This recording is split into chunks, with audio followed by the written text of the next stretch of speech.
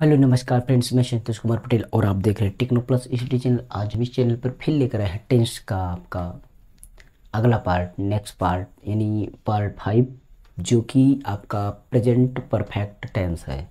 इसकी पिछली video present continuous tense थी और इसके पहले प्रेजेंट इंडिफिनिट टेंस दो पार्ट में और उसके पहले सभी टेंसों का पहचान टेंस को कैसे पहचानेंगे, वो चार्ट द्वारा हम जो बताए हुए हैं, उस चार्ट से आप पूरे टेंस को पहचान लेंगे, आसानी से पहचान लेंगे, वो वीडियो आपको डिस्क्रिप्शन में मिल जाएगी।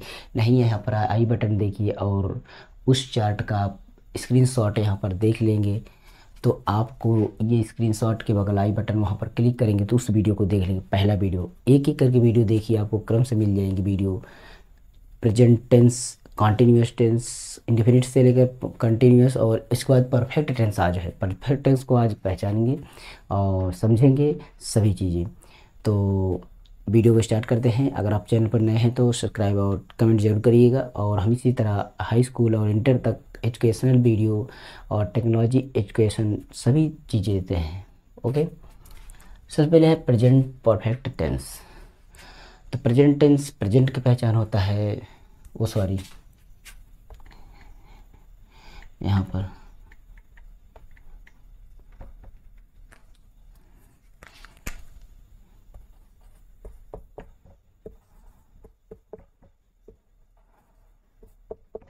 ठीक प्रेजेंट की पहचान होता है, हैं हैं, हो, हा से होता है जो भी वो प्रेजेंट पहचान होता है और परफेक्ट पहचान होता है चुका चुकी इस तरह से।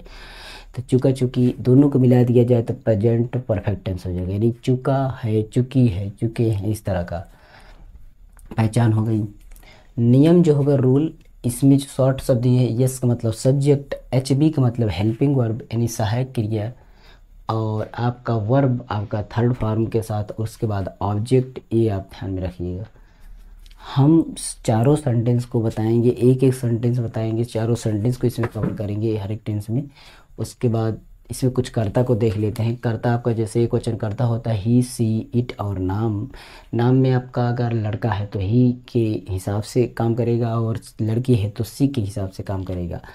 तो बहुवचन में आई वी यू दे इस तरह की चीज़ें हैं। अपने के लिए जब भी अपना शब्द आएगा, अपने, अपनी अपनी तो भी हम आई के जब अपना आएगा तो अपनी, अपन कुछ भी अपने शब्द से रिलेटेड चीज़ आएँगी, उसको, उसकी अंग्रेज़ी नहीं होती है, कोई भी नहीं होती है उसकी अंग्रेज़ी उसकी अंग्रेज़ी लगाने के लिए आपको कर्ता पर जाना पड़ेगा। जैसे कर्ता होगा, आई तो माई लगेगा, अगर यू होगा तो योर लगेगा, वी होगा तो और। इसी तरह जैसे होगा, यहाँ पर आप प्रयोग कहिए हैं, उसमें बता देंगे। तो सबसे पहले देखते हैं, मैं जा रहा, मैं जा चुका हूँ, मैं जा चुका हूँ। तो मैं आपको टेंस कैसे करना है? सबसे पहले कर्ता को लिखना है, फिर पीछे से आप बैक होते चले आइए आपका टेंस बन जाएगा।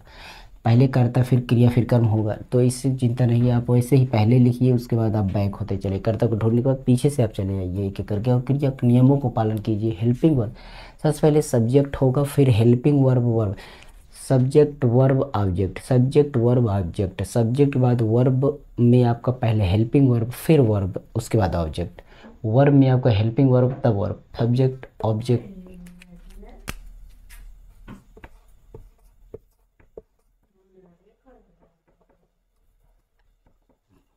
इस तरह से S B O subject verb object इस तरह से होगा। तो इस क्रम में आपको देखना है। मैं जा चुका हूँ। पहले कर्ता लिखेंगे, मैं मैं आपका आई है, बहुवचन है।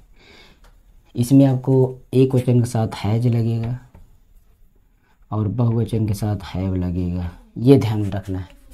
एक वचन के साथ हैज़, बहुवचन के साथ हैव।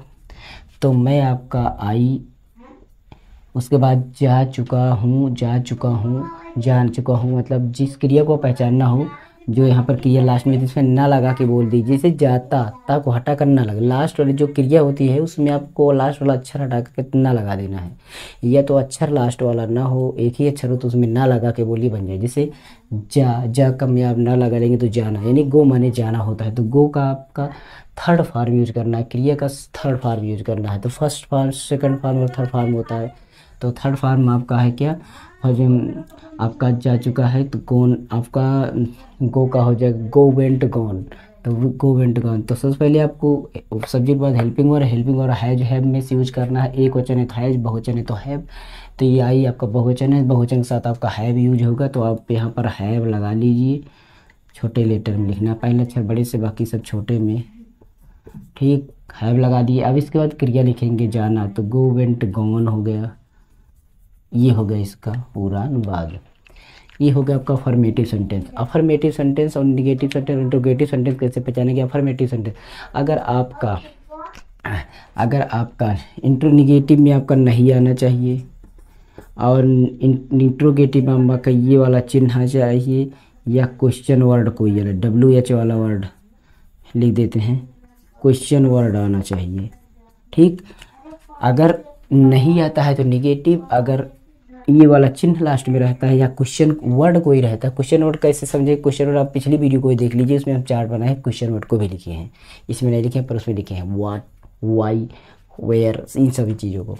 निगेट इंट्रोगेटिव निगेटिव मतलब ये भी क्वेश्चन वर्ड भी रहेगा और ये नहीं भी रहेगा तो इंट्रोगेटिव यानी कोई चीज़ अगर न रहे, समझ लीजिए अफर्मेटिव सेंटेंस है। इसमें कोई भी चीज़ नहीं है, ना तो नहीं है, ना तो प्रश्नवाचक चिन्ह है, कुछ भी नहीं है।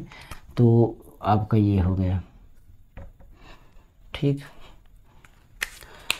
तुम अपने घर आ चुके हो, तुम अपने घर आ चुके हो। तो सबसे पहले तुम का होगा यू।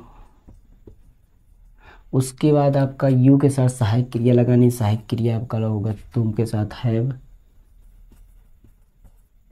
उसके बाद आपका लास्ट में चला जाइए, क्रिया के बाद कर, सहायक क्रिया बाद क्रिया आ आ में आप ना लगा दीजिए तो आना हो जाएगा, आना का आपका होता है कम। कम हो गया। तो कम का थर्ड फॉर्म भी आपका कम होता है। तो इसी तरह से अब कहाँ अपने घर, अपने के लिए होता है। जैसे अपने मिले, अपने, अपनी, अपना मिले, आप कर्ता को देखिए। अपना मिला तो कर्ता यू है। यू के हिसाब से अपना योर होता है। अगर यहाँ पर आई होता तो अपना माई होता। अगर यहाँ पर दे होता तो आपका देह दियर होता। इस तरह से कोई भी कर्ता, अगर अगर अपना सब, अपना से रिलेटेड कोई भी चीज़ है तो आप कर्ता पे बच जाइए और कर्ता के हिसाब से लगाइए इसको। तो ये आपका हो जाएगा योर।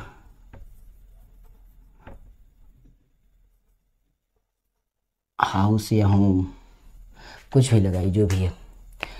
अगला, ये आपका अफर्मेटिव सेंटेंस क्योंकि ना तो नहीं लगा है, ना तो ये चिन्ह है और ना क्वेश्चन वर्ड यूज़ है।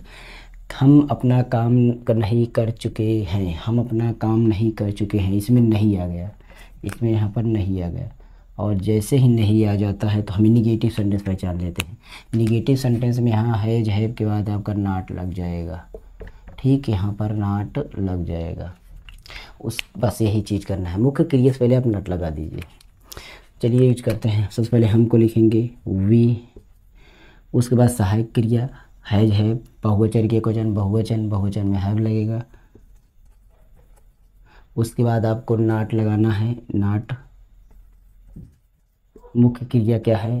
करना, कर चुके, डू मैंने करना तो इसका थर्ड फॉर्म डन हो जाएगा। तो डन हो गया। यहाँ तक हो गया, नहीं कर चुके नाट डन अपना काम, अपना आया जैसे इसे कर्ता पे आते हैं अपना तो वी वी के लिए कर्ता के लिए रूप में आवर होता है आपका अपने के लिए। आवर वर्क ये हो गया।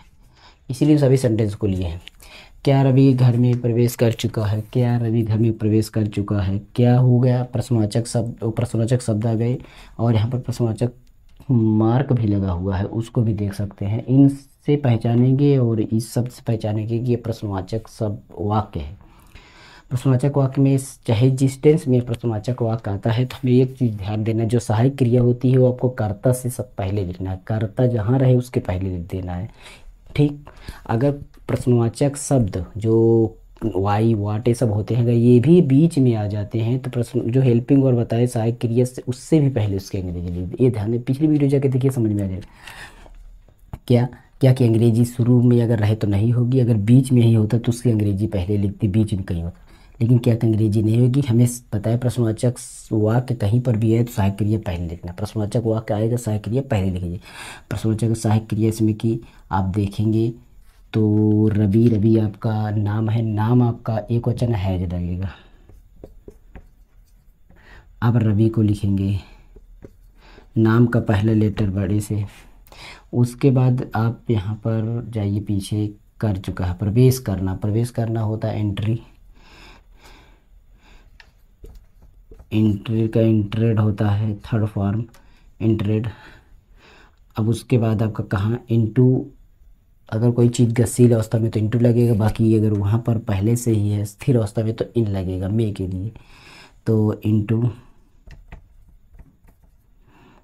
कहाँ पर? रबी घर में इंटू द हाउस ठीक। प्रश्नवाचक चिन्ह लगा दीजिए। ये हो गया आपका। अगर यहाँ पर नहीं आ जाता रवि घर में प्रवेश नहीं, यहाँ पर अगर नहीं आ जाता, नहीं तो आपको नहीं लगा, नाट कहाँ लगा, बस केवल नाट लगा देना। और आपको इंट्रोगेटिव निगेटिव में नाट लगा देना पड़ता, कहाँ लगाना पड़ता, नाट आपको लगाना पड़ता, मुख्य क्रिया से पहले, यानी इंटरेड से पहले। यहाँ हैज़ रवि नाट इंटरेड नाट आपको हमेशा मुख्य क्रिया से पहले लगाना, याद रख लीजिएगा। ठीक ये चीज़, जैसे।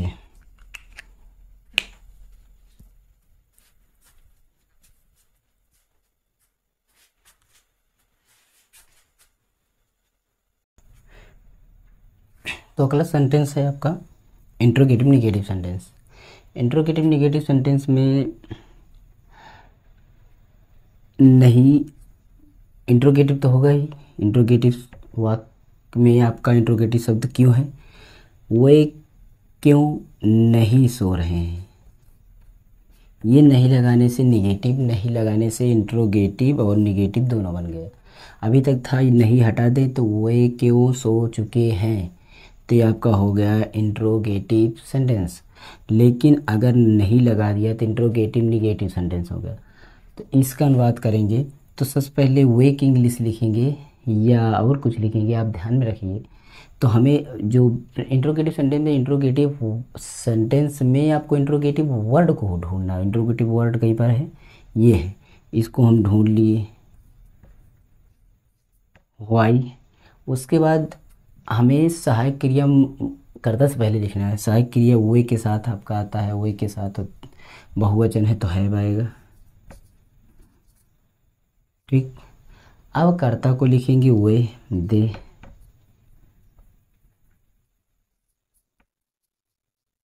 दे हो गया। अब उसके बाद लिखेंगे नाट नहीं के लिए। अगर नहीं नहीं है तो आपको केवल सहायक और मुख्य क्रिया लिख देना है। सो सो मतलब न लगा दीजिए सोना सोना से लिख मैंने सोना। लिख मैंने सोना। और इसका सेकंड थर्ड फॉर्म लिखना है हमें, ठीक? ये चीज़ गलती नहीं करना है। हमें थर्ड फॉर्म यूज़ करना है परफेक्ट टेंस में। तो सेलेक्ट और इंट्रोगेशन का चिन्ह निगेटिव अगर इंट्रोगेटिव सेंटेंस है तो आपको प्रश्नवाचक का चिन्ह ज़रूर लगाना है, ठीक?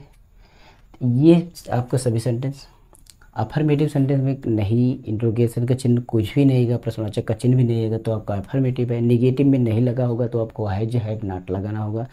अगर आपका इंट्रोगेटिव है तो हैज़ आपको हैज़ हैव को पहले लिखना है। मुख ओ कर्ता से पहले, लेकिन अगर आपका इंट्रोगेटिव निगेटिव दोनों है तो सहायक क्रिया तो आगे लिखेंगे ही। अगर कोई वाक्य है, वाक्य में आपका प्रश्नवाचक शब्द है तो उसकी अंग्रेज़ी उससे पहले भी। केवल आप इंट्रोगेटिव निगेटिव सेंटेंस समझ लीजिएगा तो सारी चीज़ें समझ में आ जाएगा, सबसे बड़ा।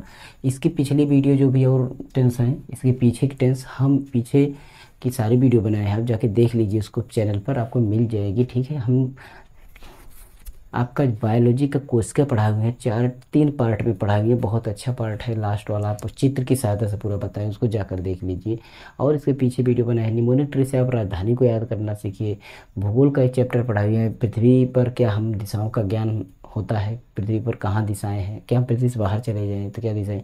पृथ्वी की रचना कैसे हुई? उसकी वीडियो हमें नेक्स्ट आएगी। देखिए, जल्दी आती है यही था वीडियो में। अगली वीडियो फिर मिलेगी। तब तक आप इसको ज़रूर ट्राई करिए। आप वीडियो को बार बार देखिए। आपको समझ में आ जाएगा यहाँ नए कमेंट करिए। पिछली वीडियो पहले देखिए जा करके। पहला पहला वीडियो इसका देखिए जा करके, जिसमें चार तरह समझाई। तो सारी वीडियो एक क्रम क्रम करके देख लीजिएगा। हमारे स्कूल इंटर संबंधित सभी वीडियो लाते हैं। इंपॉर्टेंट क्वेश्चन और सारी वीडियो इंपॉर्टेंट क्वेश्चन की ही नहीं, सभी चीज़ें लाते हैं। एजुकेशनल और टेक्नोलॉजी वीडियोज़ भी लाते रहते हैं, जो स्टूडेंट के लिए ज़रूरी होता है। इतना ही वीडियो में अगली वीडियो तक तो मेरे संतोष कुमार दीजिए और बने हमारे techno plus H D channel पर। नमस्कार जय हिंद।